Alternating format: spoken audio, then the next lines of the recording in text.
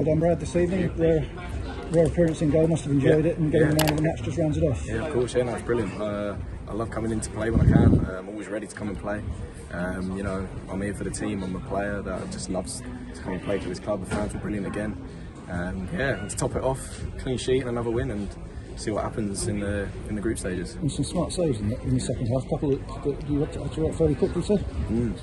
Yeah, I mean, just I, I mean, I'd expect myself to save them. To be honest, I'd, I'd, I'd back myself to save them. Um, just routine saves, uh, keep keep the boys focused, keep myself focused all the way through to the end, see it out, and yeah, got the three points and a clean sheet. So Players must be delighted to have gone through. Obviously, we need to wait and see what the, what the Chelsea Yeah. result is. But against a, a decent Oxford side tonight, that was Yeah. a really, really good. The number of changes on our side as well, that was a really good result. yeah, definitely.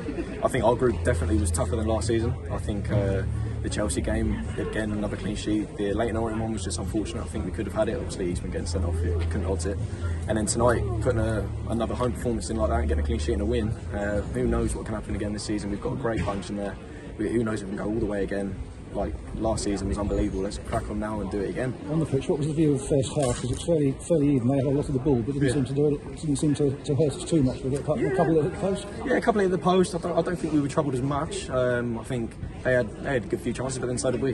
You know, it was fairly even, like you said. Um, yeah, I don't think I was tested as much in the first half. It was pretty end to end sort of stuff. We sat in, defended well. Our shape was brilliant, I thought, and they couldn't break us down. So think all, all, in, all in all was a good performance from the boys. In the second half, important to get the early goal and pressed on, pressed on from there. Yeah, definitely. I think once once we got the goal in, we sat in, kept our shape well, and then um, they could, again couldn't break us down. Uh, got the second goal, sat in again, and any any team to come here and beat us and put in a performance against us, fair play to them because we're a team that will sit in, defend for our lives, and get and grind out results. And we've got a great bunch in there, like I said, and we'll go all the way to the end. And you, as you said, you know, is, we love this. we- We've done well in this competition. The club, club loves this competition, Yeah, and, and yeah. through to the through to the next round. Must be uh, must be looking forward to it. Just hoping maybe that, we can finish on top of the group and get the home, home time next round. Yeah, yeah, exactly. So we'll see what the other boys did in the uh, in the um, Leyton Orient Chelsea game.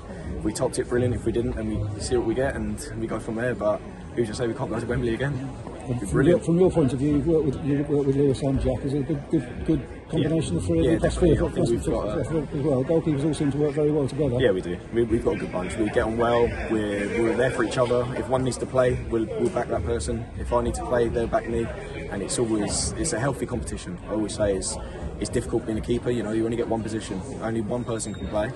And when it's your time, you've got to do well. You've got to shine. And if things don't go right, they'll be they'll be there to support me and hold my head up high. So But if in, in that situation, you, you come into the side tonight, do you feel under a little bit more pressure? A- You know, goalkeeper's very much a, a sort of focal point position, isn't it? As what It is. opposed defender or midfielder or striker, you sort of got a, who's Yeah. in goal, you're immediately in the spotlight. Do you feel under a bit of pressure in those situations?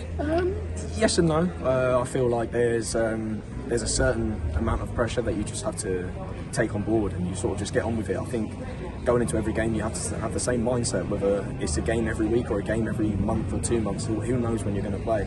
But I think the main thing is just training well, train like you're going to play, because you never know in football. It's a weird old game. If you get your chance, you take it. You keep the shirt. You just keep doing well. That's all you can ask for. You definitely did that tonight. Well done, Brad. Thank you very much. Congratulations on the Cheers. match, and uh, see you in the next round. Yeah, brilliant. Thank you.